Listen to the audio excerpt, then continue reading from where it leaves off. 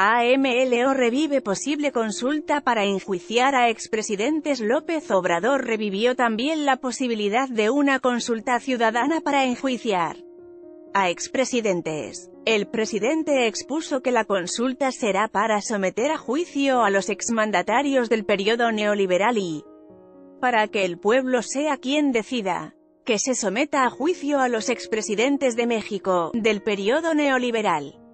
Salinas, Cedillo, Fox, Calderón y Peña Nieto. Que sea el pueblo quien tenga la última palabra. Aquí la nota flecha hacia abajo.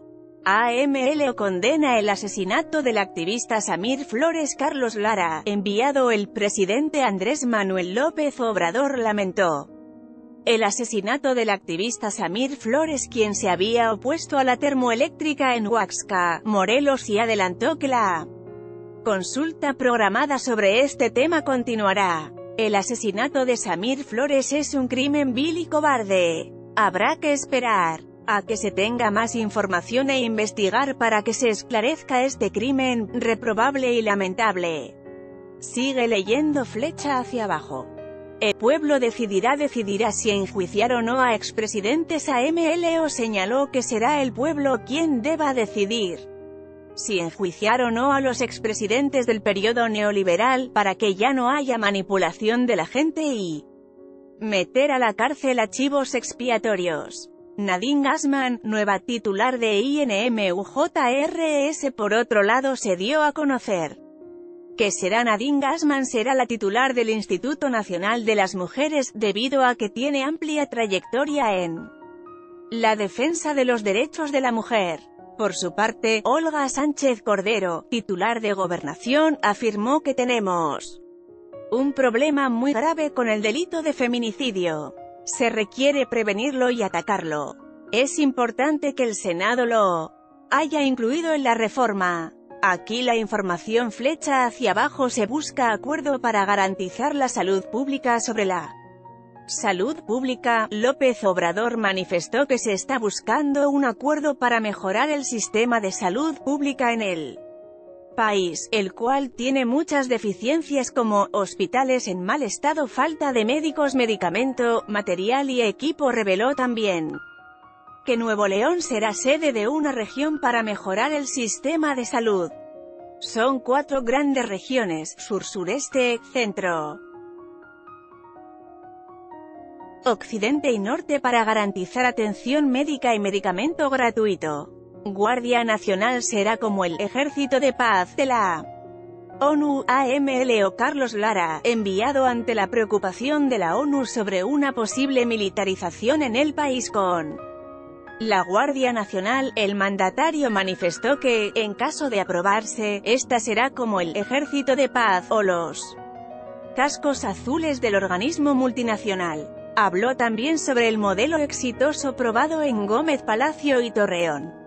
Manifestó que se busca replicar este mismo modelo en Nuevo León, además de coordinar las corporaciones para reducir la violencia e incidencia delictiva. En la zona, queremos la Guardia Nacional porque se requieren más elementos para replicar modelos de seguridad en todo el país. Necesitamos experiencia y participación de Fuerzas Armadas. De igual manera, informó que hasta ahora solo se cuenta con 20 mil elementos de la Policía Federal. Hay estados que tienen más. Es un contrasentido. Podremos enfrentar la inseguridad uniendo a la PF con las Fuerzas Armadas. Aquí la nota flecha hacia abajo continúa el robo de combustible pero ya no es Igual, AMLO sobre el tema del robo de combustible López Obrador señaló que sigue habiendo robo de gasolina pero en una menor proporción. Reveló que ayer se robaron 7.000 barriles de gasolina. Significa el 10% de lo que hurtaban. Explicó que a pesar de ello, prácticamente, ya se normalizó el abasto de combustible en todo el país y aseguró, que el gobierno está listo para enfrentar cualquier emergencia. López Obrador celebra reforma sobre prisión preventiva en cuanto a la decisión de los diputados de considerar la corrupción, el fraude electoral y el robo de combustible, el presidente celebró la Reforma a la ART. 19 Constitucional. Con ella, la corrupción no tendrá derecho a fianza. Aseguró que fue una buena decisión.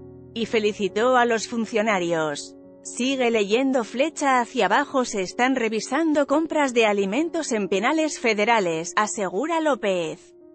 Obrador sobre el tema de la alimentación en los penales federales el mandatario aseguró que se están revisando las compras de alimentos y que se cuidará que no haya corrupción. Además de revelar que será en una semana cuando se informe sobre los gastos y cambios. Asimismo, aseguró que si los contratos de alimentos y medicamentos, entre otros, no son forables para el gobierno, serán cancelados. Aquí la nota flecha hacia abajo para combatir la inseguridad pública se requiere atacarlas causas AML o por primera vez, la conferencia matutina se llevó a cabo en Monterrey, Nuevo León, donde se sostuvo una reunión de coordinación entre el Gobierno de México y el Gobierno del Estado.